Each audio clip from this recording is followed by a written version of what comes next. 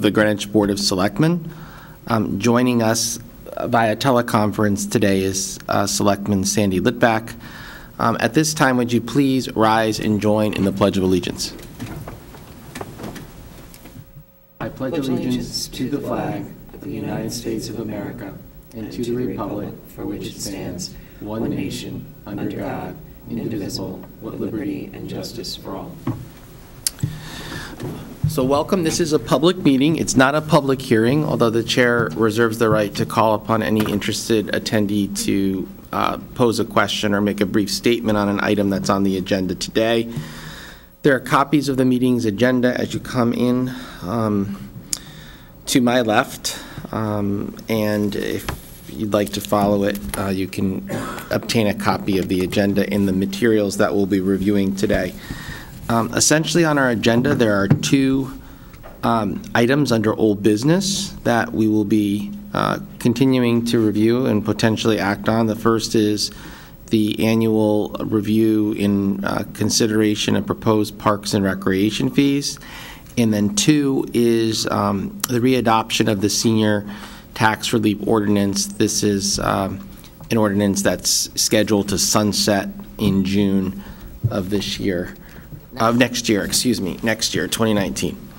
And then we have two items uh, related to property tax appeals um, that Attorney McLaughlin will review in executive session, and we will consider acting upon in public session, as well as um, a couple of interviews for boards and commissions that will occur um, in executive session, and then potentially any action that occurs would be in public. So that, that's the agenda today. Um, The second item on the agenda is to approve minutes from the December 6th regular board meeting and entertain any corrections, uh, adjustments, or wh- what have you for those minutes.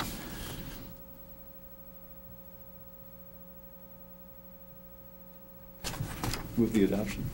Okay, they've been moved by Mr. Toner. Is there a second? Second. All right, thank you, Mr. Litvack. All in favor? Aye. Aye. Aye.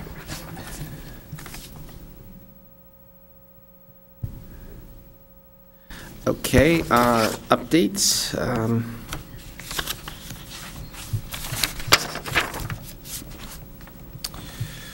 On December 7th, I was uh, part of a panel discussion with the PTA Council.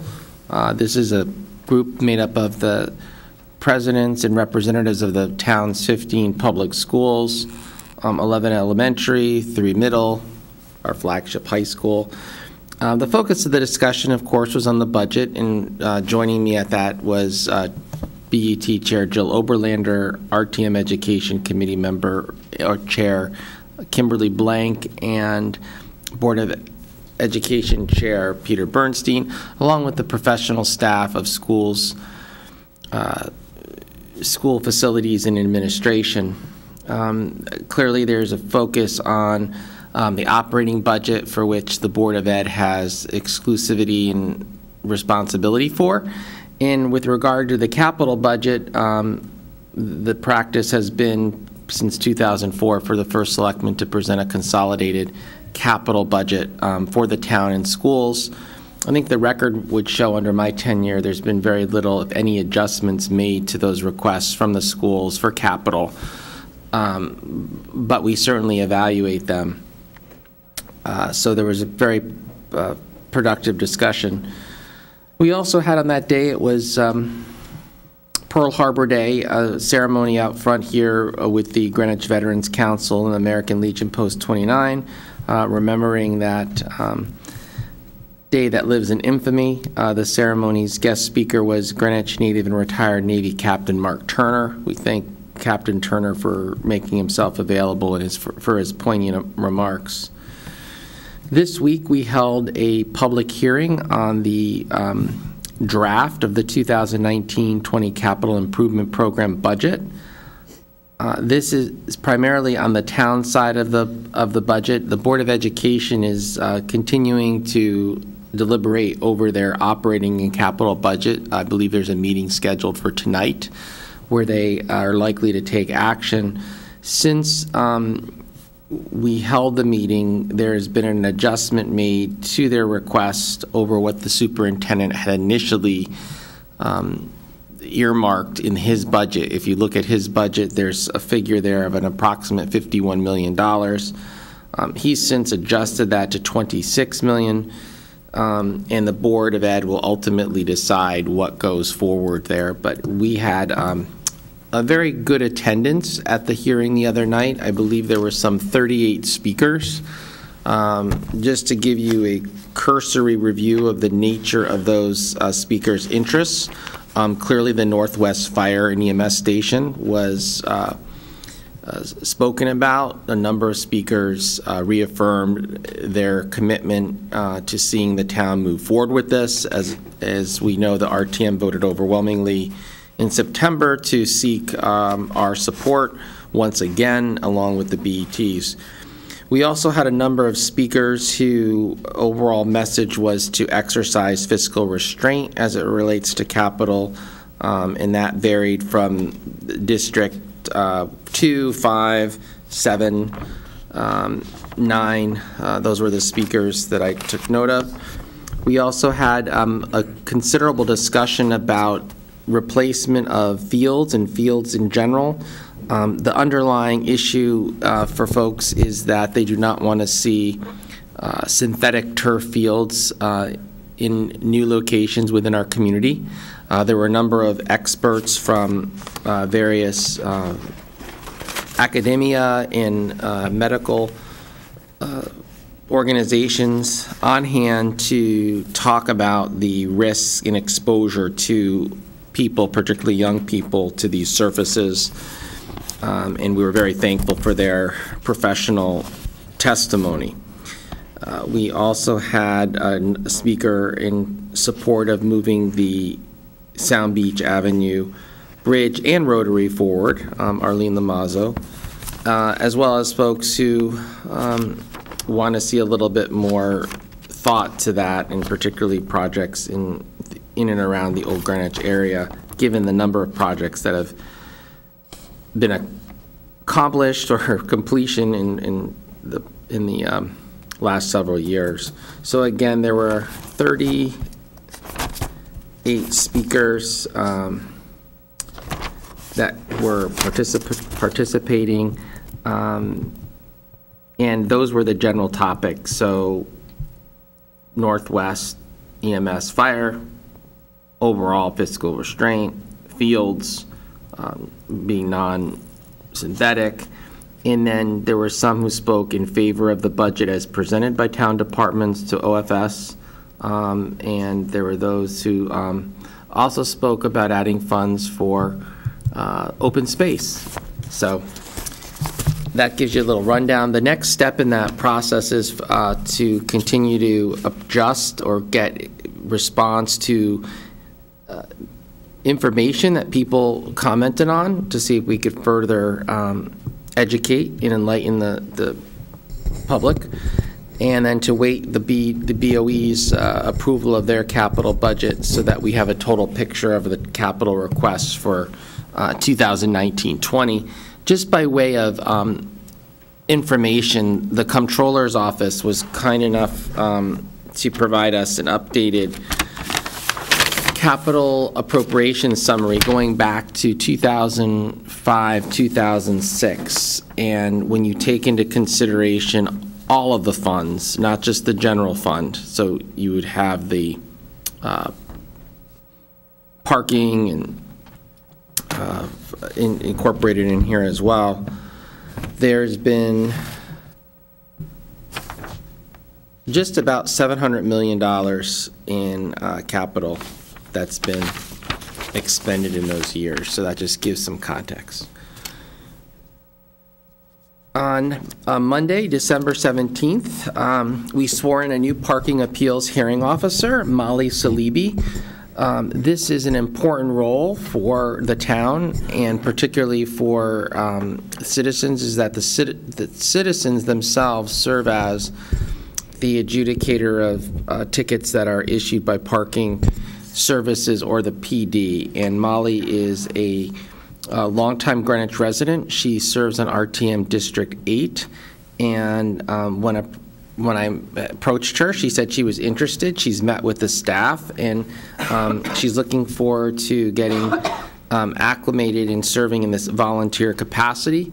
We would welcome any and all others who look to give back um, to volunteer for this. Um, It's very important and integral part of our current process uh, for um, administering um, parking enforcement.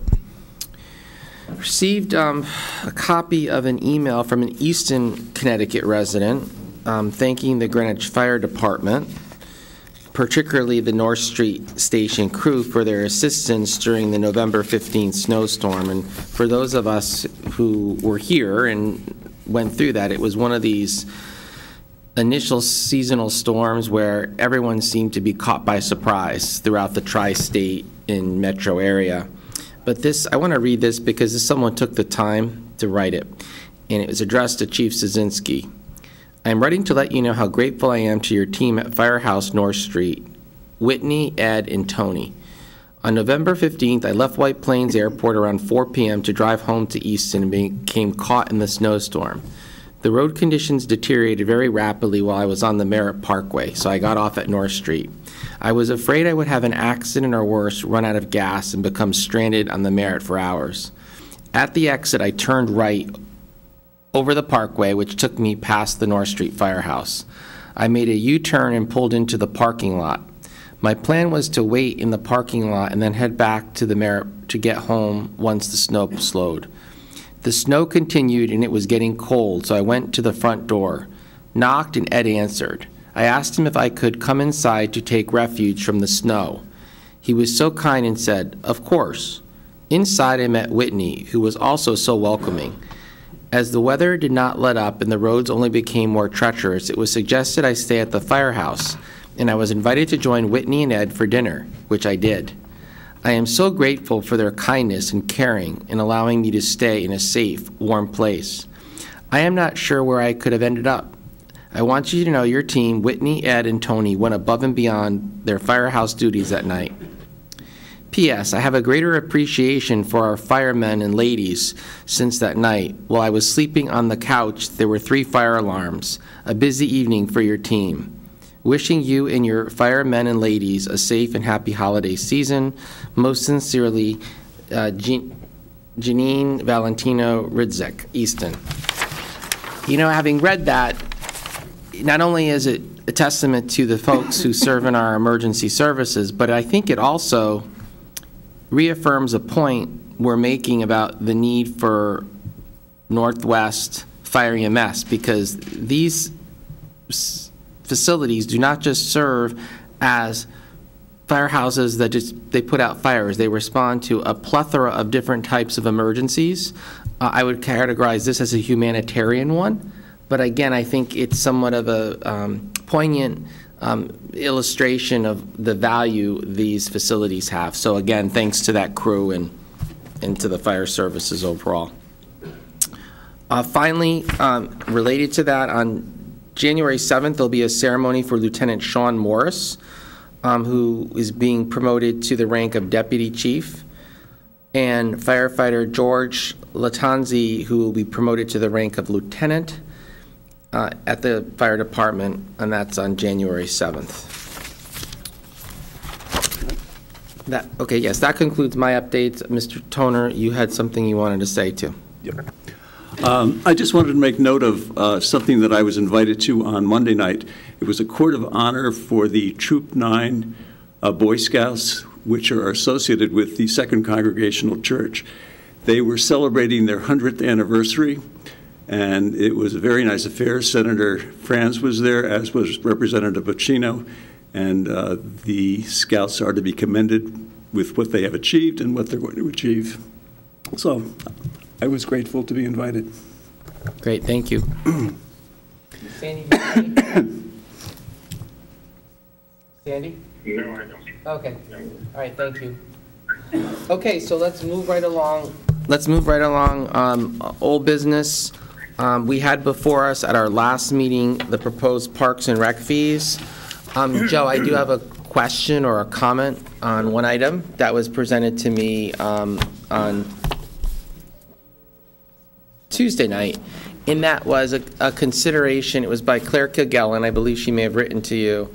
Um, Her point to me was, would we defer increasing any of the fees related to Hamill until such time as a new rink is operational?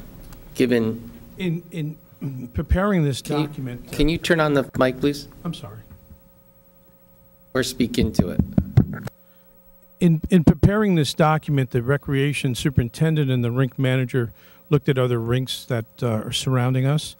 Uh, And um, knowing that we haven't increased the, the general admission fee in three years, and we've had some additional expenses, um, the $10 fee that we're proposing for adults um, are, is well in line or more at the bottom sec, uh, portion of what other rinks are charging, the more ones that have been updated or newer rinks.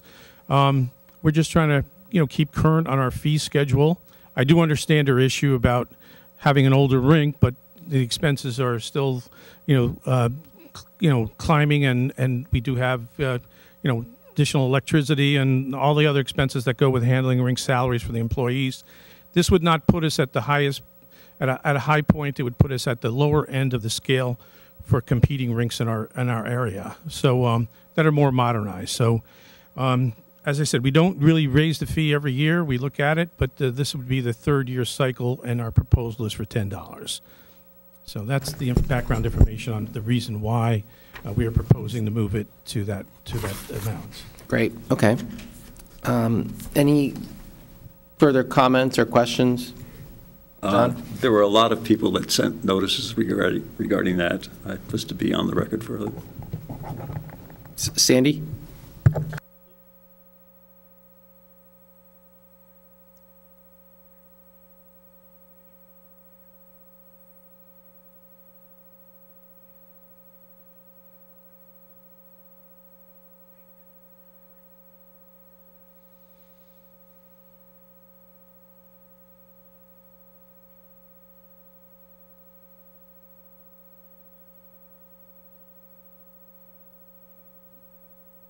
Okay, uh, I, just the general information response is that we're, you know, we're just trying to keep the fee schedule current, and we are on the low side of other, other rinks that have been uh, updated, and um, i- it's strictly a board choice. I mean, I'm, I'm just bringing the fee schedule with the best information that I can to help you make your decision, so. Could you just comment briefly, Joe, on what's the timetable for uh, moving forward with improvements? Because I know that's been part of our, So currently, there's been a committee working for almost a year of uh, Parks and Recreation staff, uh, BET members, and rink enthusiasts that look at, uh, we have a RFP proposal out. Hi, Peter, I'm sorry, I somehow dropped off, so oh, no worries, no worries. But, so I just was asking Joe to give us an update as to the process for moving forward with the improvements at Hamill. So he was just beginning to Right. describe that. So, Can you hear him, by the way? uh, I don't know. Start talking, Joe, and I'll tell you. o- okay, can you hear me, Sandy? I hear you perfectly. Okay, thank you. I'll talk loud and into the microphone. So, um, the committee has been meeting for over a year. There's an RFP that's been put out for professional services to help develop um, kind of the initiatives that we to do an evaluation of the current rink, which is not going to take much, but to do to to figure out the initiative that's going to go into the new rink facility. That is out on the street, I think, this week, or will soon be after the first of the year. The committee will continue to work. There's a proposal in next year's budget to put $250,000 for the preliminary A and E work, uh, up to 30% of site plan approval by uh, planning and zoning. There's the additional money in the outer years to do the 100% of the design work. And then um, two years out, there's a proposed $5 million uh, uh, placeholder in the, in the 15-year plan to do the actual rink construction. So it's going to be a three-year project, uh, and, and our goal is to get that uh, in the works uh, starting July 1st after we have this evaluation done. Joe, do you do a, what I'll call a P&L on each facility? So if I were to say to you, just take the rink, the revenue received, expenses, do you do a P and L? Can you tell me how much money you're making or losing on that rink? Uh, it's, it's, it's nothing we do as of a practice because the Munis system doesn't allow us to do it that way, but we could do it. It would take staff time to do it. And there's components in each budget. There's some in my budget, there's some in building maintenance budget, there's some in DPW's utility budget. So the, the costs are spread in several locations. Um, I mean, it could be done, but it's not a standard practice, and our financial application that we're currently working with does not do that automatically for us. I understand that, but it seems to me, and I'm not being critical saying this, I don't mean to be personally critical in any way, that all we're saying is, we don't know whether we're making money, losing money, how much our costs have gone up this year versus last year, how much our revenue's gone up this year versus last year. Uh, no, that, that's not uh, that's not exactly what we did. I mean, uh, the I mean the recreation superintendent and the staff looks at you know the expense that we have, and and, we, and I can guarantee you that we're not making a profit at the rink. I mean, it's a it's a it's a it's a cost item for us, and um, but at the end of the, but at the end of the day, we're just not saying let's you know arbitrarily push it up to uh, two dollars. We look at the expense, and we look at and we look at um, what other competing competing rinks are uh, out there doing. Um, it, it's you know it's it's we're proposing this. You can propose something else or make a motion to keep it the same. I'm but I'm saying there is a foundation. There is foundation for this though.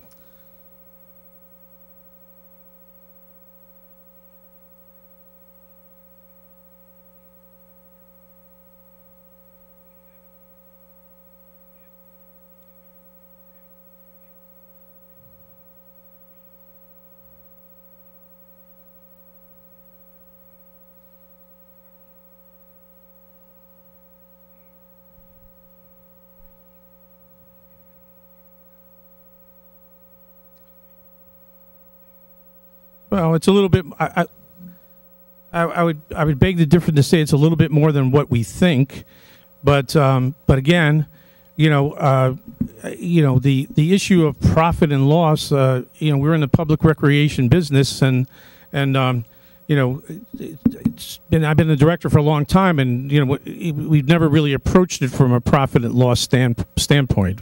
It's a public service that we provide. Some programs that we have there don't make money. Some are more of the revenue generators.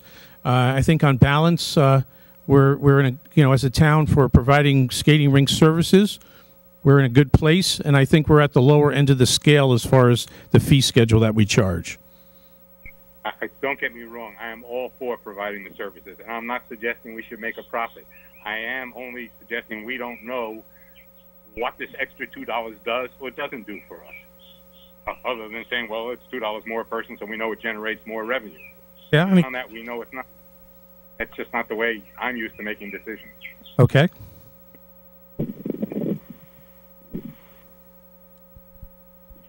Peter, I'm going to move that we keep the current fee schedule in place at least for next year, and then let's see where we go from there. Okay, when we go, so what we do is we go through by code, so when we go through, if no one move, if no one moves it, it stays status quo.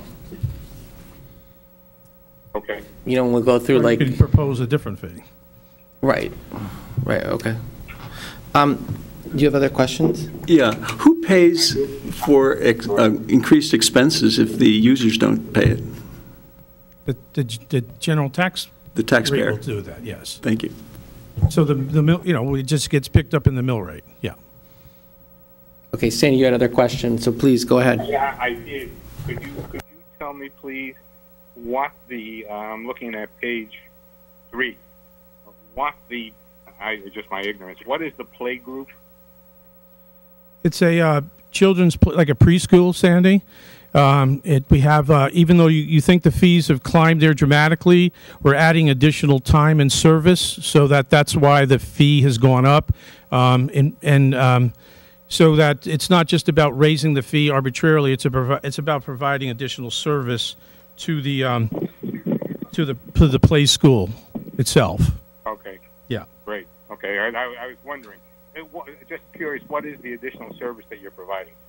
Well, the original service was, um, you know, we were providing a three or four or five day a week program. the hours were much shorter, so we're going to add additional uh, time to that. So we have to have, you know, we're going to charge an additional fee to cover the expense of the additional time that you'll be able to, your child will be able to participate per day. Okay. Joe, just as a follow-on to that, just where are those, where are those locations, or is it just one location? One location. It's at the uh, Cos Cob Community Center. Okay. And is, do you, this, this may not be in your bailiwick, but do you know if that's considered like a licensed preschool? It's a licensed preschool, yes, it is. Okay.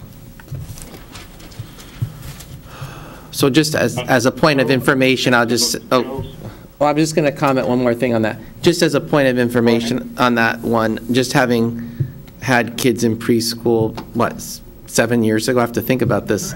It's a relatively good price considering what the marketplace charged. Ab- you know. absolutely. I mean, it's, anyway, go ahead, Sandy, sorry. No, I was just going to ask what the Greenwich Adventures is. Excuse, excuse me, I, I missed that part, Sandy. Can you speak So what's the Greenwich Adventures? It's it's an intermediate camp for for like teenage children, very popular. Um, it gives those kids that somewhere between the age of 12 and 15 an opportunity to participate in a program, much needed for a lot of the Greenwich parents who work. And um, it's a very it's it's grown. I mean, it started out this about four years ago, and the program's grown and it's very very popular. Sell out every session during the summer. Okay. I, I I just noticed it was a fifteen percent roughly, a fifteen percent or more increase. That just sounded like a lot. Is there a particular reason there too? Um, You know, we tried to expand the program a little bit to accommodate a few more children. We have a little bit more staff. You know, we- the, the children, these, these, these, these teenagers are young people, you know, they, they go on, uh, uh, you know, they go on field trips. It's just all of that expense of busing and doing that kind of thing. Um, it, but I, we are definitely in the market on, on, on this one. And, um, and we just did some fee adjustments just so that, not, not arbitrarily, just so that we can cover the, some of the cost of what we, uh, the expense of running this program and uh, the popularity of uh, having some increased uh, uh, you. participants. Okay, any others? Because we're going to go through them uh, code by code, so. Do you have, a- gentlemen, do you have any other? Or we'll start going through them code by code? I'm, I- I'm going to raise one more. I know this is just a. It's just one of these silly things that uh, bothers me in a lot of different contexts, and that's the photocopy. Really charging 50 cents each for a photocopy? Um, I know we're not raising it, but gee, probably cost us a penny. Yeah, we do. I mean, we, we get people who want to use their photocopy machine. I don't think it's an unreasonable standard among the whole building. Ours just happen to be more public than other people's. But, um, um, you know, we get people who come in and want to use our photocopy, you know, I mean, there are people who want to make multiple copies. It doesn't really happen that often. It's just in there as a, as a, as, as, you know, people really want to use our system, then uh, they do pay for it, and they pay for it in other parts of the building, the same, you know, same or maybe, uh, same amount. So, uh, um, it's just happened to be public in our fee schedule.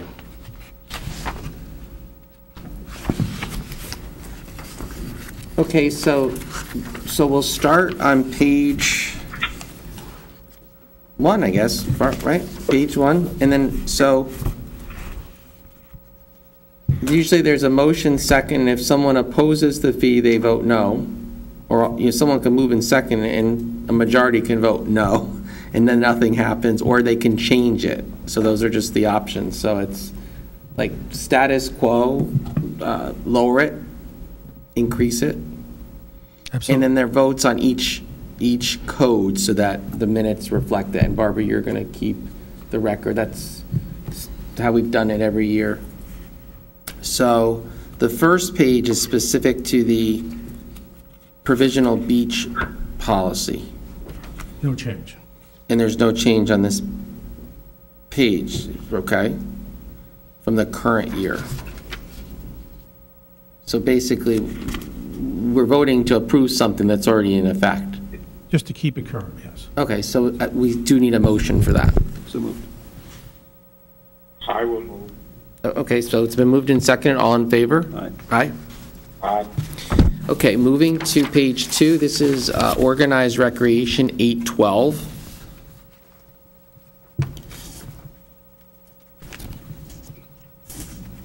Do we do the whole thing? Well, yeah, 812, yeah, is all under the Eight- eight organized rec. It's three pages, Page four. or, excuse me, yeah, So that four, would be pages two, three, and four. And, and five. Five. Six. Pickleball, I know, is very popular. I was talking to someone about that. It's take, it's like the rage, I guess. I don't even know what it is, but it's, It's kind of like a tennis, but it's Indoor court game.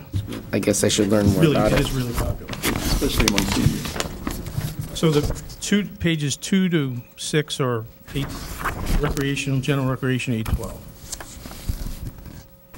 Okay, so uh, give folks a chance to go through that a little bit if they want to just.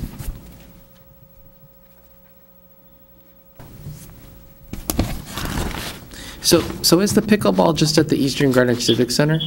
Uh, most of the time, yes, indoor. And we have some outdoor Can courts. I ask that- a question, Peter, that I Sure. should have asked uh, as part of this? Uh, Joe, on page uh, three, Yes? under my fa, under my favorite top photocopy, there is administrative process fee for credit refund. What is that? So that if somebody comes in and decides that they want to, they've paid for a program and they want to withdraw, I mean, we have a, we have a process that we have to do in order to get them a refund. Um, And uh, this has been longstanding for probably before I became the director, that there's a small administrative fee to do that because we have to undo what we did and then get them a refund check and all that, uh, that type of thing. Okay.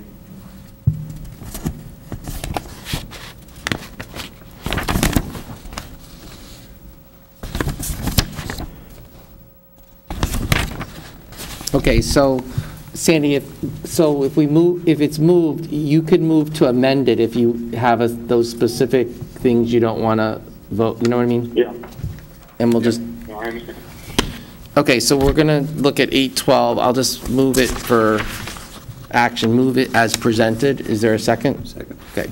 So it's been moved and sec, as presented, are there any, is there a motion to make any adjustments? If not, all in favor of as presented, 812? Aye. Aye. Abs- Okay. Okay, 814 Eastern Greenwich Civic Center. And and perhaps you can just, um, for public edification, Joe, go through what's the status of that building project. I know I just recently corrected a statement about that, saying that the building's roof was leaking. In point of fact, it is not. The buil- the building's roof ceiling and lighting was replaced in the 2011-12 uh, fiscal year, and we just had a wonderful party uh, run by the Commission on Aging and Senior Center last week. And I happened to be looking up at the ceiling just to see before that, but anyhow. So, so the status, And Mr. R- Mr. Richmond's here. He was an, and he was another uh, guest waiter there. the status of the Eastern Greenwich Civic Center building is that there is a staff and community and Board of Parks and Recreation Committee working on identifying the initiatives to go into that building. There was a study done and completed by SFA, which is a professional group to assist us with the, the- that determination of what, uh, what the public really wants to see in that building. Um, We've held one, two, three, four, four, four committee meetings that are open to the public and published uh, in advance so that the public can come and speak at those meetings. Um, We will, we just had one last week. We continue to, we will invite a member of the SFA, the Professional Study Group, up in January to speak to the committee and for the public to listen if they'd like. Um, I- I'm assuming that if, once we get through this process, there will be a, some public information session of some sort so that the, uh, the committee can take comments from the general public. And we will start moving forward to start to identify those initiatives that we would like to see the new, for the new design of the building. There is some money in the current DPW budget to do some of this initial A and E work, and um, and uh, that has been there for a year. um, so that uh, as soon as we come up with this final report, then uh, we can turn it over to DPW. They can identify an uh, an engineering and architectural firm that will do the preliminary design for the building. That's, in general, that's, that's kind of where Okay. we are. Okay, is there a motion on 814 Eastern Grand Granite Civic Center? So moved. A second? This is eight fourteen? Yes. Yeah, okay, second, all, all in favor? Aye. Aye. Aye. Okay, uh, 815 Community Centers. Joe, can you just, um, These are just the two little community centers that we have, uh, Yantorno and Pemberwick and um, Cos Cob Community Centers. It's just, these are just some expenses that we have there, and um, it's very minor. I mean, um, uh, not the expenses, but some of the fees we charge for use of the building. So, and there's only, there's nothing that's being proposed to be raised. We are going to put in a security fee uh, for, for rental of the building. Um, and there's an insurance that goes with the security fee for the use of alcohol in our building, so. I, I appreciate you highlighting that. Perhaps can you just tell us if you know, um, with that security deposit with alcohol, what type of, um, insurance the renter has to have? The- The renter, if they're us if they're having alcohol at, at the, at one of these two facilities, they have to provide the town not only with the general liability at two million, one million, they also have to provide a three million dollar alcohol endorsement. So that's for the insurance side of it. This is a security fee for, to make sure that they do that, and also if there's any damages as a result of alcohol being used at one of our facilities, so. Um, it's a refundable, it's refundable. Understood. So if, you know, it's cleared at the end, they get their $200 back, and everybody's made whole, so. Great. Is there a motion on 815? So moved. I'll move. Sec- Second it, all in favor? Aye. Aye. Aye. Okay, uh, moving to uh, Dorothy Hamill Rink, Code 816. Is there a motion? So moved. It's been moved by Mr. Toner, is there? I'm going to, okay. Oh, Okay, for purposes of, I'll, I'll second it, so now it's on as presented, but we'll entertain any adjustments, amendments. Is the motion by John that you just seconded to um, adopt the fee proposed by the, uh, by Joe? Cor- Correct, as presented, but you- we entertain, an- we entertain a motion to amend. Well, yeah, I, I'm going to move to uh, not increase the fee, but rather keep it as its level for at least one more year, um, and see if we're making progress on getting a, a, a new, improved uh, rink. I, I just think raising the fee uh, is not justified, and I guess particularly because, at least for me, and I know I'm new to this, and I understand Joe's point, I truly do, but there is no rationale other than the vague, well, costs have increased. We, we don't know how much they've increased, we don't know what. We think we're at the lower end, but uh, I, I accept that, but I'm not sure of that.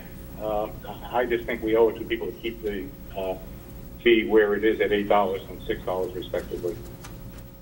Okay, thank you. Is there a second to Mr. Litvack's motion? Okay, there's no second. Okay, so the item is now back before us as presented. We'll take a vote. All in favor of 816 as presented signify by saying aye. Aye. aye. Opposed? No, Abstentions. So two, one, zero. Western Greenwich Civic Center, Code 817. Again, you see the alcohol fee security here. Um, The the rent is, dic- the the increase in the rent for the the Children's Day School there is uh, contractually uh, dictated, so uh, that's just the identifying it, and there's, there really not any other uh, proposed increases here. Okay, is there a motion on 817? So moved. It's been moved, is there a second? one second. Okay, okay, all in favor? Aye. Joe, just a second. Is the damage security deposit what you're talking about when you talk about alcohol-related? Yeah, Okay. same security. Okay, uh, moving to 822, uh, page 11 of 19. This is for parks, playgrounds, and playfields. No proposed changes. There's no changes, okay. Is there a motion on this one? So moved. Okay, it's been moved. Is there a second? Second. Okay, all in favor? Aye. Okay, moving to 12, page 12, Marine and Facility Operations, beach fees, 833. And that covers pages 12, 13, 12 and 13. I just see a locker fee change, Is that for a year? Excuse me? That, is that for the season? For the season, yeah. of $5. Half locker for sixty dollars and a full locker for a hundred. Five dollar increase in overnight camping, just went up one dollar, very minor changes here. Now, it says here on page 13, cow barn area. Mm-hmm. That's going up $25, but is the, isn't the cow barn the Sue Baker Pavilion? No, two different things. The cow barns, the cow barn area is a picnic area up by the Seaside Gardens. Okay, all right. What was it, what was the other place called? Was it just called the Old Barn? The old barn. Oh, I'm sorry, I'm getting the Old Barn and the cow barn mixed up, I'm sorry. All right, I, I missed, I missed, uh, the answer to the question on the locker fees. Is that for this, the year, the season? For the year. yeah, for the year. Okay. All right, thank you. Okay, um, those are the only questions, there's two. Uh, So is there a motion to approve as presented? So moved. Is there a second? One second. Okay, sec, all in favor? Aye. Aye. Okay, um, page 14, Marine and Facility Operations, 834. It's page 14, 15, 16.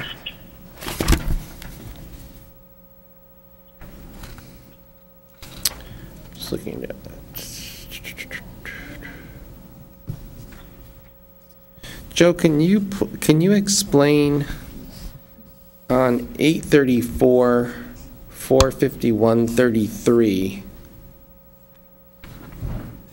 it says current fee $75, and then it says proposed $25 slash month. So what was happening is that we were, we were, we were charging a seventy-five dollar fee, a seventy-five dollar flat fee. And it was kind of unfair to people who, you know, if they're, if they're thirty days late, they're paying a seventy-five dollar fee. If they're ninety days late, they're paying the seventy-five dollar fee. So what we decided to do is to break it down into months.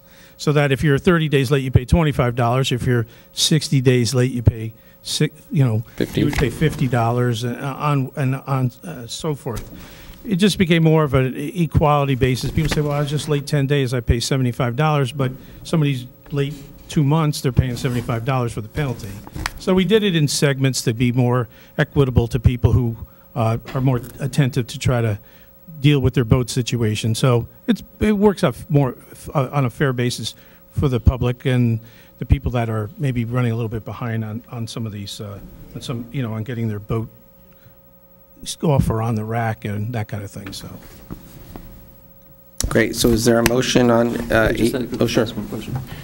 Joe, this does not include the- the fees that the um, Commission on Aging, uh, not Commission on Aging, the uh, Harbor Management Commission. That's correct. They have to Yeah. propose their own fee schedule to the board uh, for moorings. This, this has nothing to do with moorings. This is just docking facilities, racks, storage, lockers, those types of things.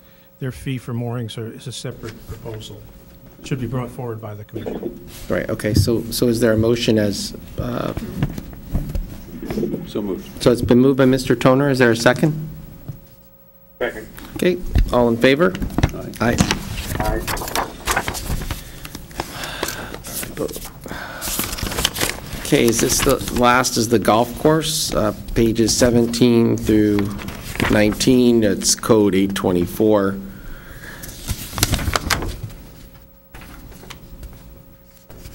I believe, Joe, on page 18, you have a dollar increase to the Twilight Golf for members and guests. And, uh, We raised a little bit on the, on our shotgun fees, and it's just a dollar on a couple of them. can you explain for folks who are not golfers what a shotgun is? A shotgun fee is where the, i- in gen- in general, it's where the, a group of people, and here you can see a minimum of 72 people in an organized group would take over the golf course for a certain portion of the day with a morning or afternoon session. So they're getting a complete block out, and they're getting a greens fee at $51 for that, per person, for that group. So we're closing it to the general public, and we have about 15 or so of these shotguns a year at the maximum 72 participants. And um, so it's an opportunity for them to get exclusive use of the course for their organization. And of course, they- with that, they, we're blocking out anybody from the public, and this is the, this is the premium fee that they would pay to use that. So um, it's, it's, it's not, it's, you know, at private courses, it would be twice as much as that, or maybe three times as much as that. So we're a public course, and, and we're, we're in the market here, and uh, we're just trying to keep current on the schedule of, of fees, so we raised it a dollar. But it is a, it is a block, a complete block out. Great. Are there any other questions? Yep. Joe, what is, just out of curiosity, what is the, the lease rental for the restaurant up there? Uh, The lease rent on for the restaurant is a five-year agreement. Uh, We are in the option years as we speak, and um, we have proposed to, uh, not to exercise our option. So we're, that, that proposal is out to bid for, um, for the general public to look at and see if we can attract uh, other bidders. Great, thank you. Um, Is there a motion to approve uh, Griff Harris Golf Course 824? So moved. Moved by, moved in second, all in favor? Aye. All right. Okay, that concludes, I believe, the updates to the uh, recreational fees for 2019. Uh, Thank you for your time. Yes, sir. Before we totally leave that and move on to the next item, I, I do want to make a comment. I, I made it obviously in connection with the uh, Dorothy Hamill fee. But I think generally, going forward in the future, I am concerned uh, that we approve fees, whether they're increases or decreases or maintaining them the same, without what I think is proper information. These are town services. We want to make them available to people at the lowest possible cost, consistent with operating fiscally in a town manner. But we really, we as selectmen, least I, have no information. Uh, we don't know, we're not told, and I don't mean that anyone's hiding it, we don't have it before what the revenue is, what the costs are. Joe says that some of the costs, at least with regard to Dorothy Hamill, I don't know if it's true with others, are dispersed through various departments so that he doesn't even necessarily have a handle on all the costs. I, I just think we are, and I use this word very, very loosely, arbitrarily deciding, okay, that sounds right. I'm, I just, that's not the way any business would do it. And I'm a little uncomfortable, and I commend to the Board of Selectmen that as we look forward to future years, or as you look forward to future years, uh, this is information the board should have. Okay, so I think going forward, I mean, what, what we do get, I mean, having done this a little bit, you look at more peer fee charges. What Mr. Litvack is saying is we're looking at what is the cost of each program, in, how do those costs reconcile with what we're charging, so we know how much we're subsidizing or perhaps making. Um, I think that can be achieved with some work. It's going to require the finance department to work with you folks and, Yeah, We're going to require, I mean, there's software packages that do this. We don't have one. I mean, because so you'd be this is all running, so the golf manually. course runs really as a, as a set aside. It's a revolving That's fund, so you have it for that. I mean, you have your revenue that you take in, Correct. in your expense. The other programs are inter, Twined, yeah. twined with, within the department, and so you'd have to really look at each activity on a program basis That's correct. To be able to evaluate and provide the next year's board with what it costs to run each program Yeah. in what, if any, money you're making or what you're subsidizing.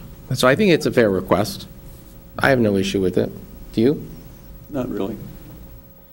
Okay. Just keeping in mind that if you don't raise fees, or if the users aren't paying their full share, that the taxpayer has to pay that, the general taxpayer.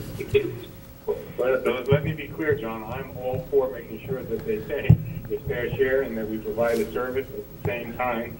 Uh, But my point is, we don't have the information now to know that we're doing that. No, and I can appreciate what you're saying. Wonderful. Well, Wonderful, we all agree. Thank you for that uh, very valid and substantive point. Uh, The next item uh, on our agenda today is, um, under old business, is B, readopt the senior tax relief ordinance. Um, This is coming to us um, through the Commission on Aging. We have with us today our director, Lori Contadino, and the chairwoman of the board, Patricia Burns, as well as our assessor, Lauren Elliott, and our tax collector, Howard Richmond. Um, Each of these individuals play a role in this, and um, we had it before us last meeting. I believe there were questions about its application. Um, You've provided us some information of which we understand because it provides names and addresses is not public information, but it gives us a semblance of how wide or how narrow this is being taken advantage of. And I know, Mr. Litvack, you had several questions, I believe, for which I'm sure the team here will endeavor to answer. So Lori, why don't you start, because you know, and then Sandy, feel free to jump in when Lori's done. So, good morning. Um, In response to some, in, is that better? So in response to some of the questions that you had the last time we were together, um, one question related to the number of uh, perhaps income-constrained um, individuals within the town of Greenwich. And based on United Way's most recent data, um, 6% of Greenwich households are below federal poverty level, and 21% of Greenwich households are in that ALICE category, the asset-limited, income-constrained employed. What United Way does not have um, is an age stratification within that 20% of the population that um, is income deficient. So that was uh, to the extent that I could find an answer to that question. Um, There's some information that, um, as um, our first selectman mentioned, that I provided that uh, has confidential and protected um, information because it has uh, the names of individuals. But the important thing is that there was a question raised about the, um, the households themselves, the value of the homes.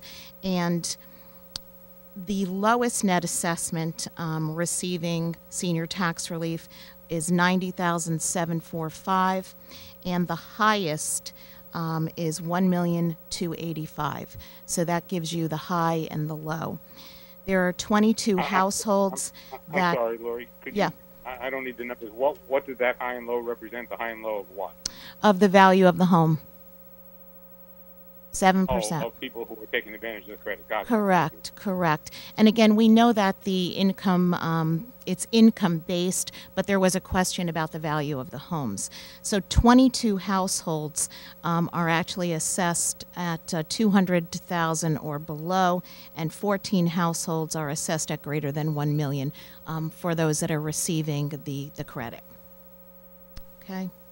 Um, I did some quick math and just, um, you know, as a point of interest for me, out of the 482 um, individuals um, that received a local benefit in 2017, 306 are um, between the ages of 80 or over 80, and there actually are five individuals that are 100. So that's about 64% of individuals that receive the credit that are 80 and older. Um, you know, the, our assessor, uh, Lauren and I were, were trying to figure out the reason why our numbers trend downward. But if you consider that 64% are 80 and older, um, we lose individuals not only as they pass on to heaven or move out of the community, but perhaps into a nursing home. So that could attribute um, to some of those numbers trending downward. We, um, Except, uh, every day someone is into that category. Yes, yes, and that's the unfortunate reality. Um, another element that we discussed uh, the last time we were together was a notice of the program that we could give to Greenwich taxpayers. So Laura, Lauren, Howard, and myself um, got together and, and approved a statement that would go out into the tax bill um, for your consideration. And um, Sandy, I'll, I'll just read that because I'm not certain if you have this before you. The town of Greenwich offers property tax relief for senior residents 65 and older who meet annual income requirements. The filing period is February 1 through May 15 each year. For more information, contact the assessor's office in Town Hall at the assessor's telephone number. Um, so that was another element that uh, we wanted to put fo- before you for consideration. Um, Lauren can give you a little more information about how the state program um, works with the local program and um, how the calculation is derived. So at this time, I'm going to turn it over to Lauren for some of those technical questions, and then um, any of the three of us are here to field any additional questions that you may have. Good morning. Good morning. Okay, so I'm going to give you a little bit of background. Um, for the last 30 years or so, the state has provided a tax relief program for seniors. And uh, the information that I'm going to give you also is, is what we received from last year, 2017, because we have not done, the uh, application period starts February 1st, so we don't know what's going to be in the, the um, parameters and haven't been set yet. They won't be set until I actually create the grand list. But um, the state has always, for the last 30 years or so, has provided a tax relief for seniors. And currently the benefit there runs from $150 to $1,250 as long as the income does not exceed $43,900. Now, the town of Greenwich has implemented a local benefit, which is basically mirrors what the uh, state does. The only difference is, is that we expand the amount of people who are eligible by expanding the, the qualifying income. So instead of $43,900 being the qualifying income, last year the town um, allowed people who had income of $66,000 or less to get the benefit. But in addition to what the state applies, that twelve hundred, that hundred and fifty dollars to twelve hundred and fifty dollars, the town then grants anywhere from six hundred and twenty dollars to an additional two thousand three hundred and fifty dollars, depending upon where your income falls. Um, last year, we had two hundred and seventy-four seniors that qualified for the state program, and we had five hundred and sixteen seniors that qualified for your local program. Um, the total amount of revenue that we uh, got reimbursed from the state for the state portion was $149,624. The amount of credits that the town granted to, uh, based on your local senior program was $755,754. So the local program, sorry, you have a question?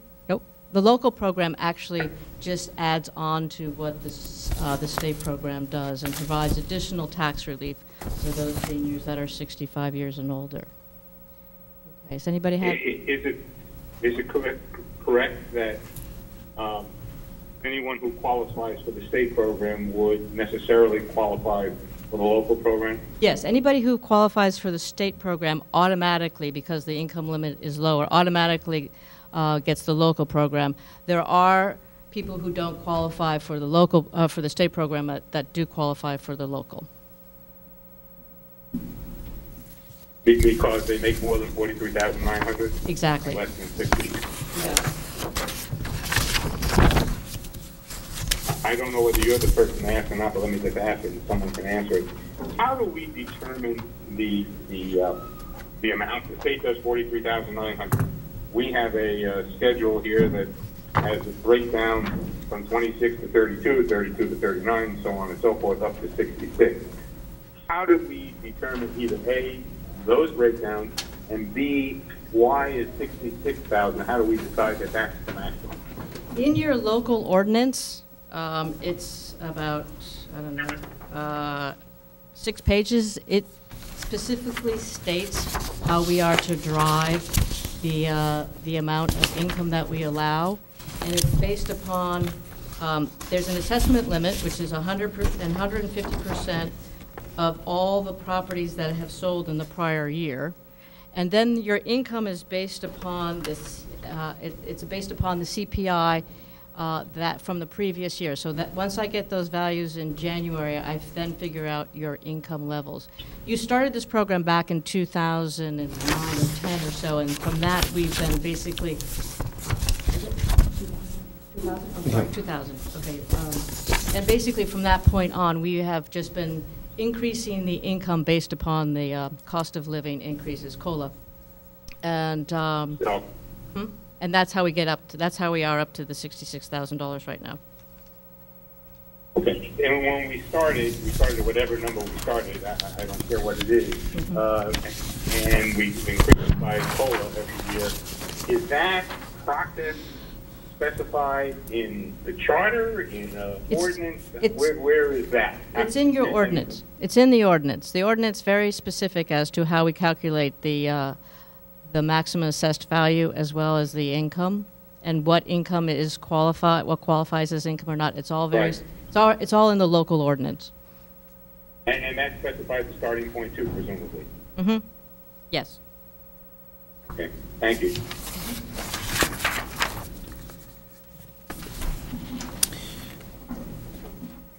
We also had this question come up, I believe, last time. A gentleman, I've, I've, I've spoken with him prior to this, but he read that the ordinance is up for review and asks it once again.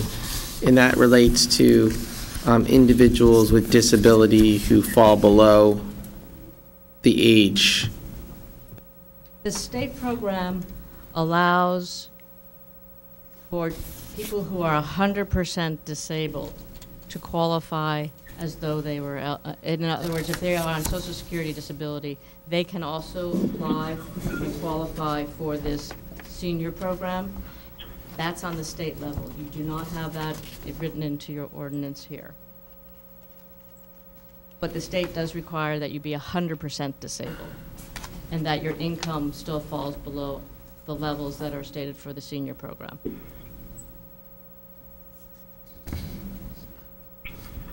Okay, thank you. I just wanted to, So can I, can I also clarify, Peter, just again, the, um,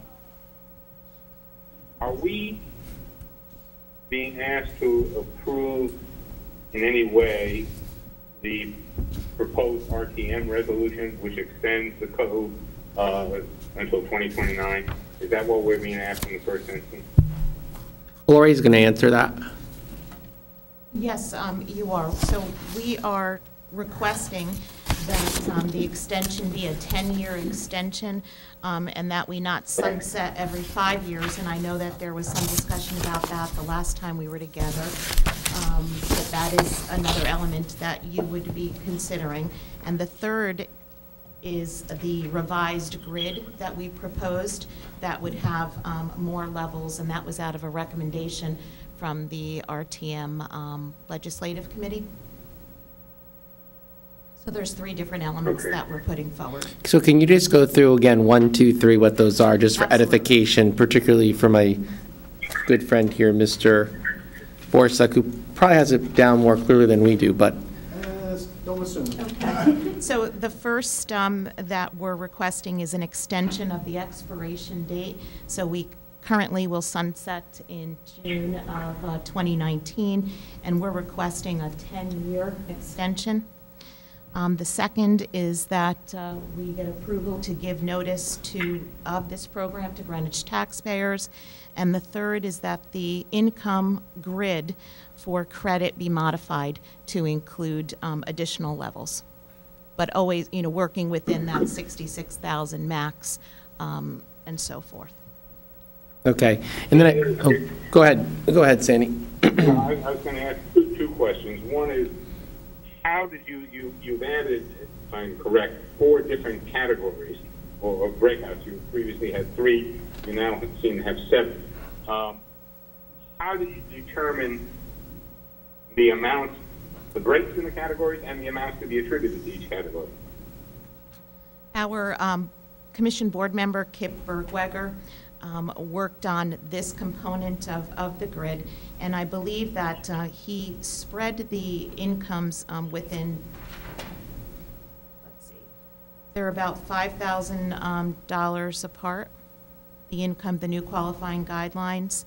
Um, And that would enable, for example, someone that might not qualify for that higher level, um, they might get a little bit less or a little bit more. Um, It actually will give us the ability to give, um, we believe, a little bit more credit to more individuals, uh, depending upon where they fall. Um, But that was how he approached it, just trying to split each of the income levels and the credit, just trying to come up with uh, something that, uh, for you to review. I don't think that there was anything scientific about uh, his approach, just what he felt was a fair break. Yeah, I'm just looking at it, and, you know, in one category, there's a twelve thousand dollar spread, in another category, there's a four thousand dollar spread, in the third category, there's a seven, so it's all over the place, is what I'm saying. So, your statement that there was no particular, uh, Yeah, mathematical precision is of course correct, uh, there doesn't seem to be any. Um, okay. if, and I'm just, again, I'm just asking this for information, Right.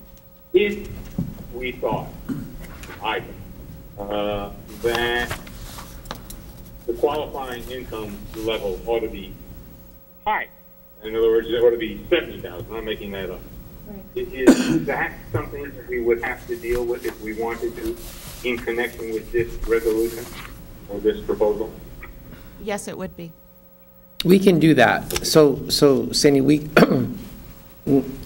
pardon me, we can do that. We could amend the, the proposal, and then the amended action would go to the RT, well, the BET, actually. The BET is going to take this up as well, correct? Correct.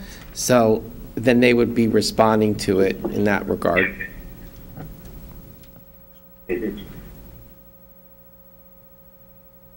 we have any sense, Lori or anybody, how the sixty-six thousand dollar income level, the sixty-six that you're proposing at the max, relates to the income in, in Greenwich?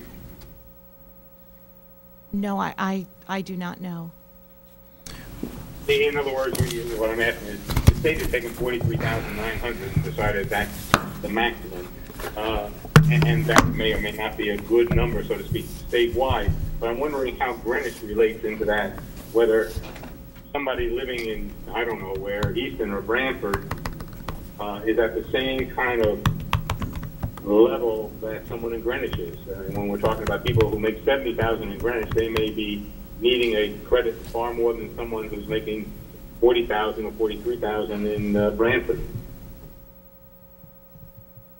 Yes, I, I understand your point, but, uh, but I don't believe that, uh, yeah, it, it's not, I don't believe don't it's believe formulated that- that that- way, no, no. Yeah, I, I, I didn't mean to think that I think it is the case. I had no idea. Yeah, no, I'm not sure either. It's a good question, though.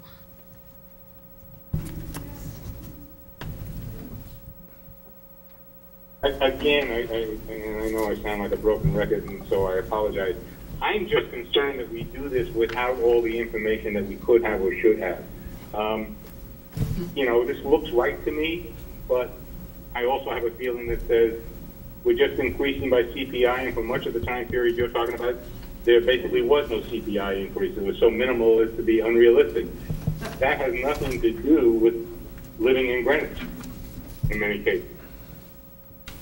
If I can clarify it, I believe the, the ordinance on page four set, originally set your income levels in the property tax credit. And then in addition, it gives me, it gives you, the- the assessor, the authority to raise those based on, I'm sorry, not on CPI, but on COLA, the cost of living. Still, that, that's not a great deal. Where, where are you, where are you looking? I'm on the, the local ordinance, Okay, it actually sets out the qualifying, when it sets out the qualifying in- income parameters. This is in your local. So if you wanted to change that, you have to go, you're gonna have to change it through a local ordinance. And then it also, that's the basis from which all of this started. And then it tells me how to increase it each year. And your original property tax credit, whatever, I don't know exactly the, the data the ordinance I'm looking at, your, your initial property tax credit was five hundred dollars, and your, the highest that you could get was nineteen hundred dollars. At that time, the income levels went up to sixty thousand dollars. So if you wanted to change that, you would have to change it, I believe you'd have to change it in this grid here, in this local ordinance, from which, to- and that's where you would start. Yeah, Peter, that was the question I was asking, yeah.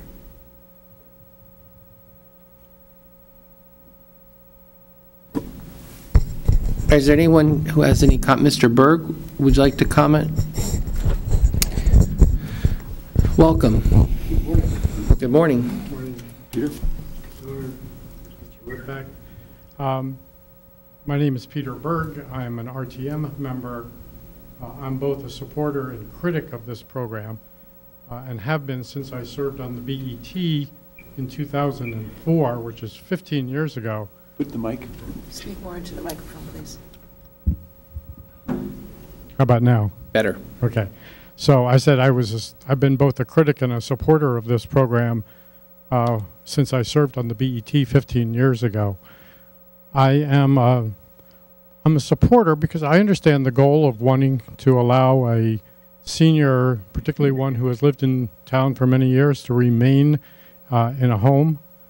Uh, but I'm also a supporter because it, it answers the budget hawks on the RTM Budget Overview Committee uh, and elsewhere who uh, say that we can't increase our mill rate because because, because low-income seniors can't afford to uh, the increase in taxes.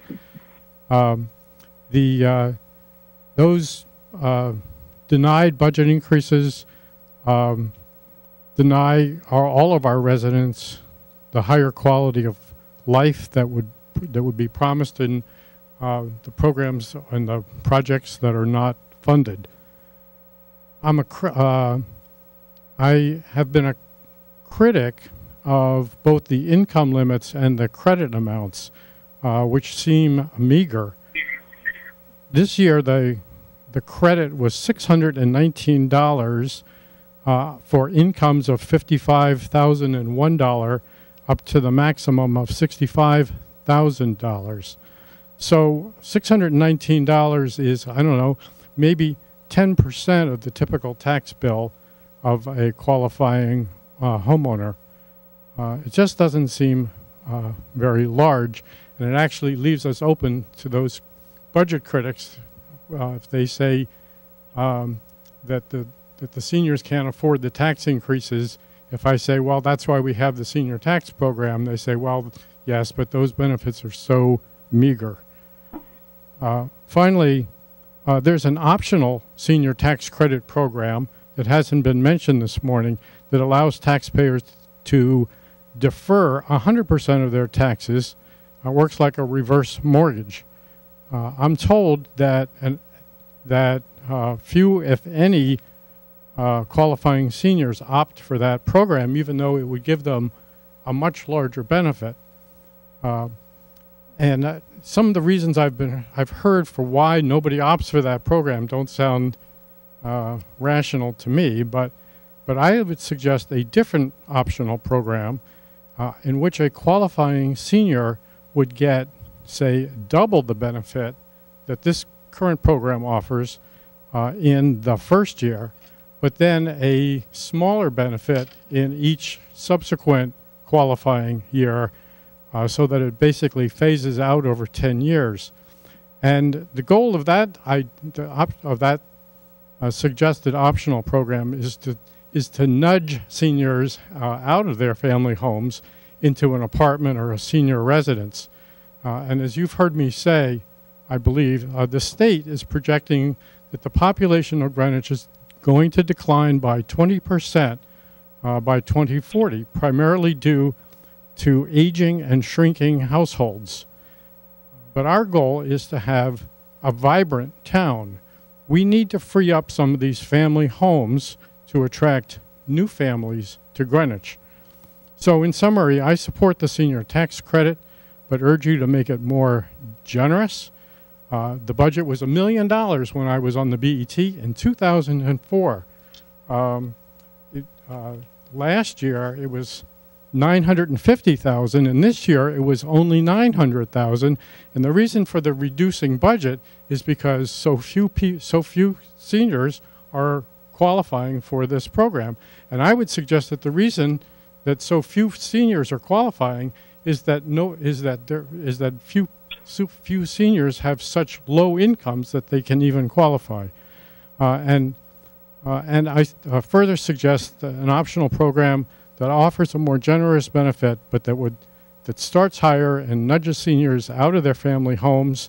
Uh, and and I would uh, uh, recommend that we keep the five-year sunset because um, because we need we need to know why so few seniors are qualifying for this program. The number went from 653 in 2013 595 in 2015 and only 563 this past year. So th- there's something there's something awry with this program, and I think we need to understand it better. Thank you very much. Thank you. Um, Lauren, can you, you could just speak to the fact that while it's, while it's set for a five-year, 10-year, you provide pu- public updates to the BET on this annually, though? Right, I have to budget. In the local ordinance, um, I, I have to budget exactly how much tax credits we're going to give on the local level. If by chance I get too many applicants and I exceed that level, I, I'm not allowed to exceed that level without either uh, the BET granting me more uh, revenue, or I have to then redisperse the credits to the seniors. We've never, since I've been here, we haven't hit that number, but we've come close. But uh, speaking to, sorry. No, I don't think, I think it was just feedback. Um, So I think part of the issue here is that we have, we don't have, uh, and it's hard to say exactly how many seniors are out there that actually don't get that. That's the number, and that's the question that we don't know. If you actually get both the state and the local, uh, the local program, you can get up to $3,600 in tax relief.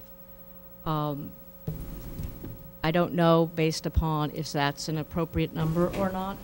Um, but I do know for a fact that we do not have, we have not had any, any seniors apply for the tax deferral uh, portion of this. And I think part of that is, is that the local option gives you a similar, gives you a similar reduction. You don't have to put a lien against your property, and you don't have to repay that back. So I think that's really the reason why mo- most people opt for this local versus the tax. Do you have any thought, based upon what you're seeing in values, that this program bec- could become more widely dependent upon if there's a shift in terms of who's paying as a result of the 2020 reval? I would imagine that it would not, um, a- a- as property values on the, and basically this is the lower end of, of the spectrum in our house values. Remember, you're talking about assessed value, so if you have assessed value of a million three, you're basically talking someone who has a two, up to a two million dollar value on their home, fair market value on their home. Um, I would imagine that, um, that there might be a little bit of a, of of a, um, I'm allowed to adjust that every year. I don't foresee that being the problem as the assessment limit so much as if you wanted to include more people, I believe that um, it would be the income loads that would have to be ex- ex- expanded.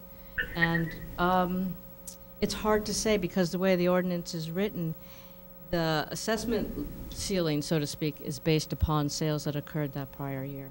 So I can't tell you what's going to happen. I don't, I don't honestly know. I don't know what's going to happen in the, in the real estate market. So if values continue to go up, will that take, that will actually help people. If, if values come down, that will actually limit the people, if you follow what I'm saying. Yeah, no, no, so that's what I'm trying to get my head around, but in terms of, I think Mr. Litvack touched on the area that it would, and you just rea- reaffirmed it, it would be to adjust those income levels, to have the direct. Right. I think that would have the most impact on, if you, if, if the ultimate result is to get as many seniors on this program, um, is to i- i- increase the income limits a bit more.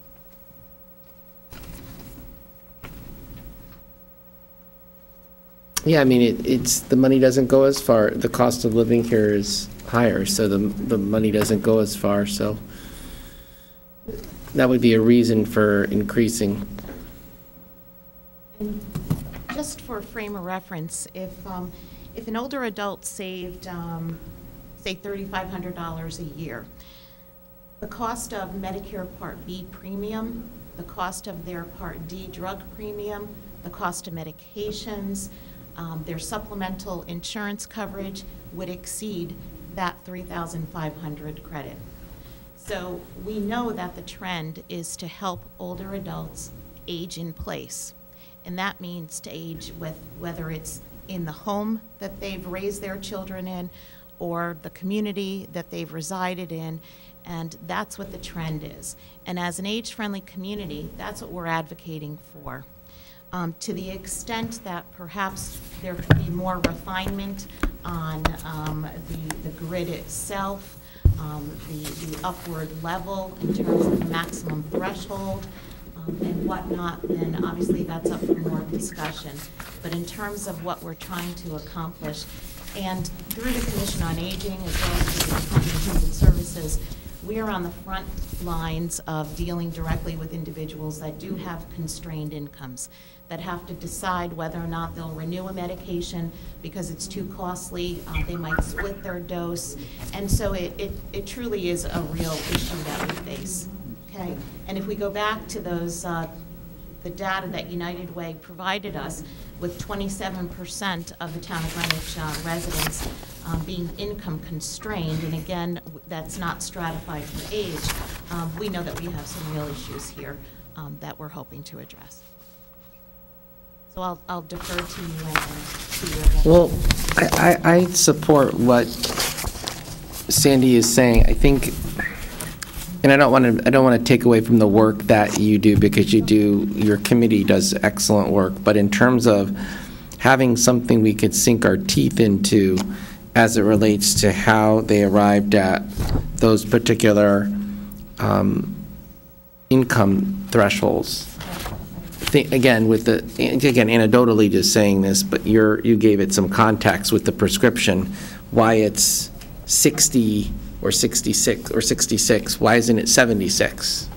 And if we were to raise it to 76, how many more people potentially do we bring into the program? Well, I know we don't know, but I guess in absence of not knowing, it'd be worthwhile to see some attempt made through existing data sources to try to peg that, that area to know, would we pick up a couple hundred? And I think commensurate to this, as you're doing the notification, thank you to the tax collector, I think that's going to help too, because a lot of people may be unaware of it. So, I mean, this will get to every uh, taxpayer in the town. Correct, and we're not doing that now. So um, if we're, if the numbers don't go up, in spite of the fact that we're putting it out in every tax bill, um, then, uh, then we can evaluate, uh, you know, the effectiveness of that. Um, And we just stuck with the 66,000 threshold. Um, We weren't looking to expand that, and that's why, you know, the grid was just modified within that. Um, I know that you're on a timetable um, to go to RTM in BET, but if we were to not act on this today, with, the only reason not acting would be to see if we could address that particular area of expansion. Will that present a problem for you? I mean, I imagine it's going to come up at the other locations. I just think, as the executive board for the town, we'd like to be proactive in, in affirming, at least, I don't want to speak for Mr. Toner, but I think, uh, Sandy, I'm speaking for you as well, because you already articulated, but I agree, we should see if we could get better data to tell us how we could impact and provide benefit to a broader number of seniors if we were to raise those thresholds. You, you are uh, accurately repeating, you know, my view, and uh, I was going to ask the question that you've now asked. Can we take a little time to uh, put this off and, and try to get data which will inform us a little more about what we can do to help? Yep, okay. Thank you. And uh, Mr. um, Richmond and Mrs. Burns both want to comment, so let, I just want to say, to be, to be official, um, the tax bills are going out today.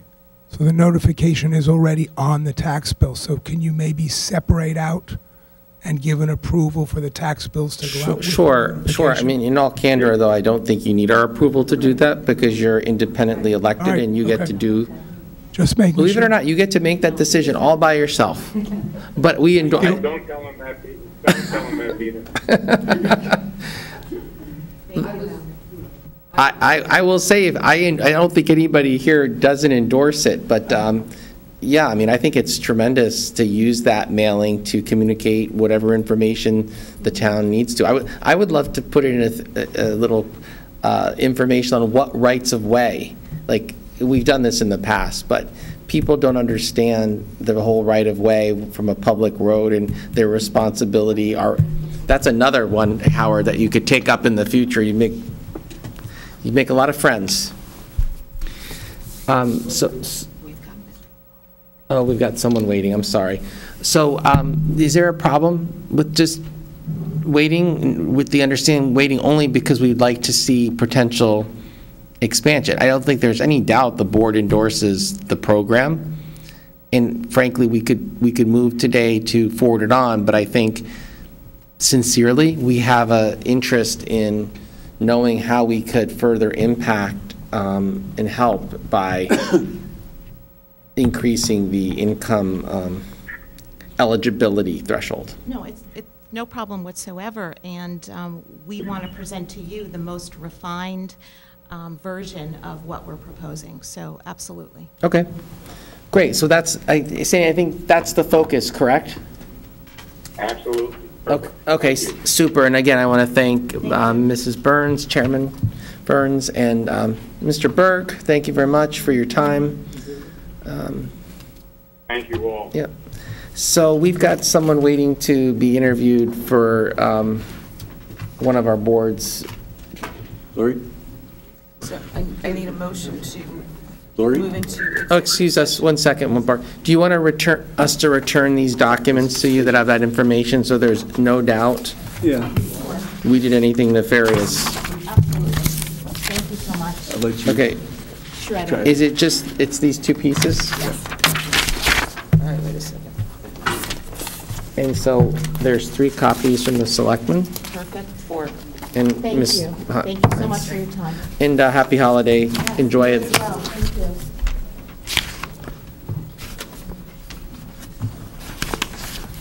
Okay, so we need a motion to go into executive session for purposes of interviewing candidates for boards and commissions, and I gather to And discuss also- pending uh, Litigation. litigation and settlement of claim. So So moved. Okay, without objection, 1142. against pay is about 2.1 million. All right, thank you very much. If I don't see you, have a happy holiday. Good afternoon. Uh, This is a resumption of the regularly scheduled Board of Selectmen meeting, uh, second one of the month of December. Did Don? I believe he Yes. did. Okay. Um, Under, under um, executive session, we heard uh, two matters of real estate property assessment appeals, and we also um, interviewed candidate for nomination of Board of Commission. At this time, um, under new business are the items that we heard about, so I'd entertain a motions. Ms. Hines, if you'd be so kind to read the, Did we have a motion to come out of executive session? All right, let's, okay, Second. 1234.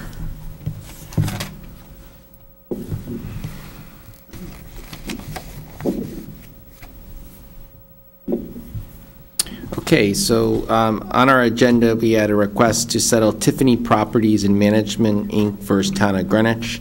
Um, This is a property located at 195 Field Point Road, uh, docket number uh, HHB CV 16-603-6221S, parcel number 0116997/S.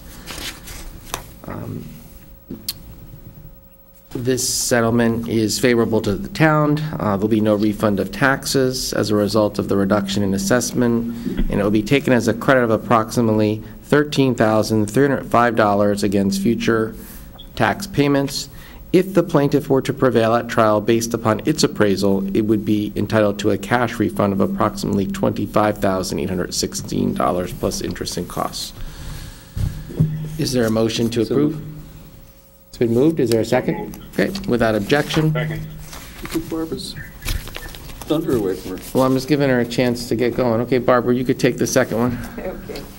Versus the Town of Greenwich, docket number FST CD seventeen five zero one six six eight two S, parcel number zero nine two four four five S.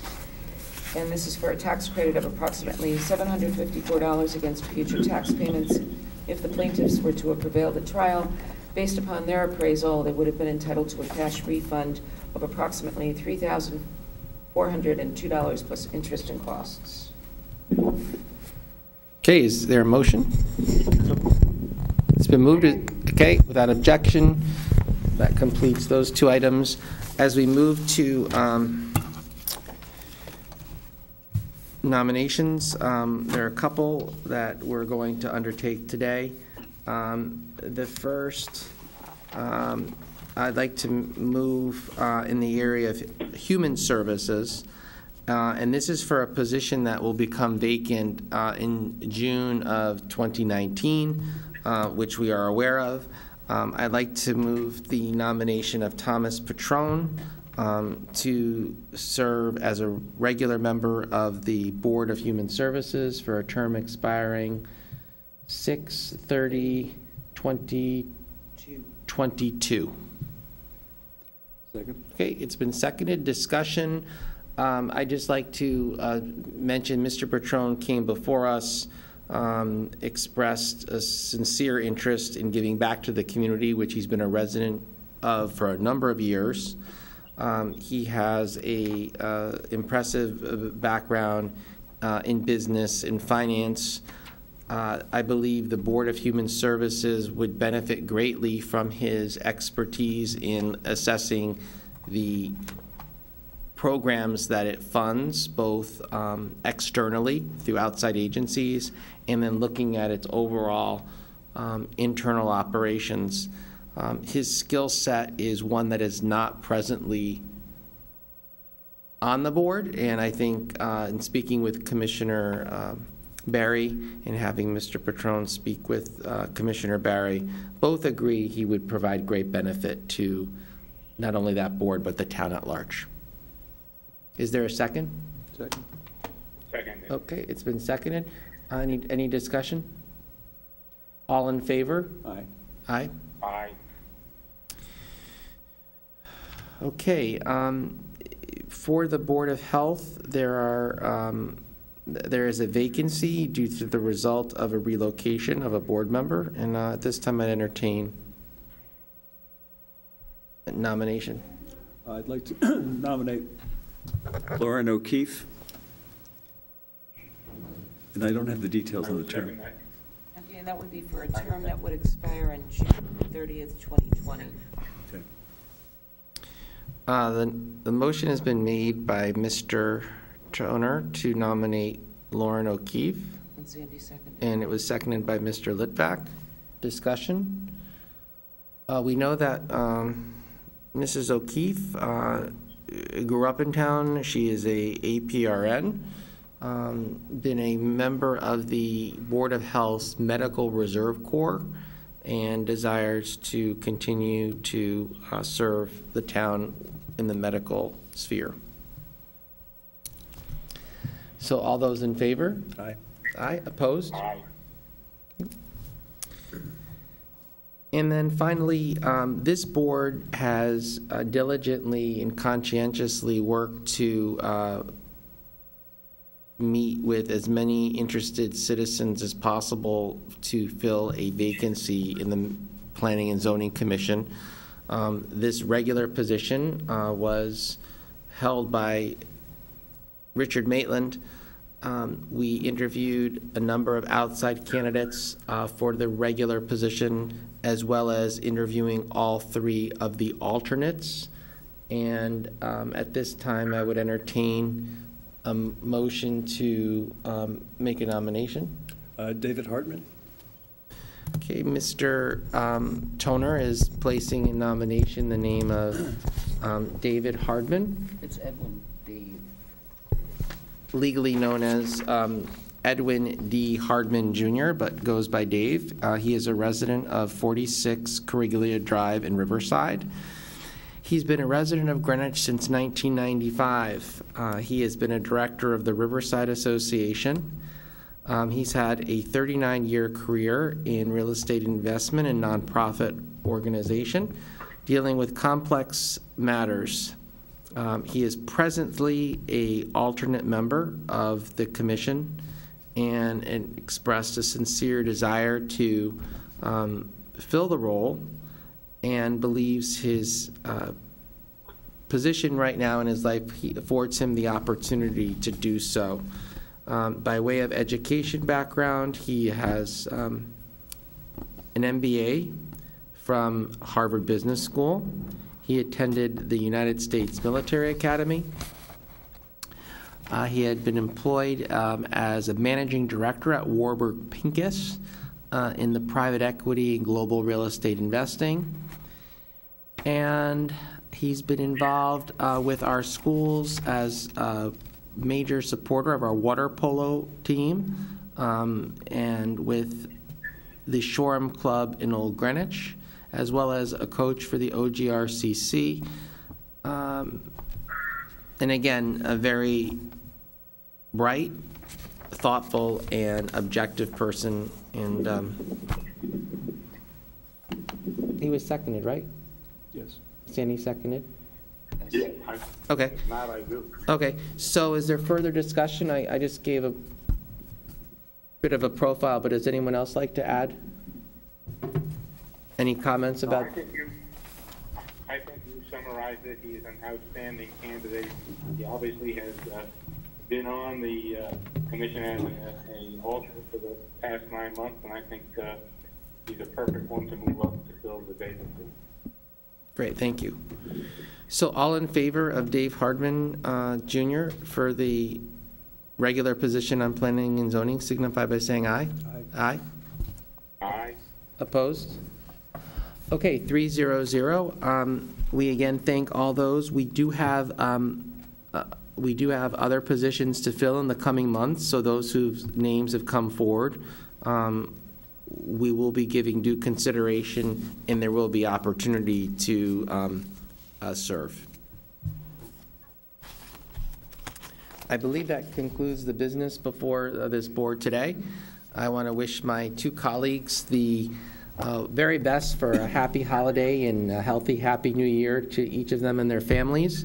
And it's been a real pleasure serving alongside both of them over this past year. And again, I look forward to a very uh, productive next year. Amen. I wish you, Peter, and John exactly the same thing. Um, and uh, a happy and a healthy new year, a Merry Christmas. And uh, yeah, it should be a good year next year for all of us, I hope. Yes, thank you so much. Safe home, Sandy. Thanks, thanks. We'll Hopefully try, I'll get to see you guys before terribly long, okay? Okay. we'll try to keep things in order here. It's a perfect segue, the Uh, next you- meeting. You, you just, you just have to keep in order until, until tomorrow. I'll be back. Okay. Our next board meeting is Thanks, when? guys. Thursday, January 10th, and I need a motion to adjourn. So moved. Okay, all Move to adjourn. right, thank you.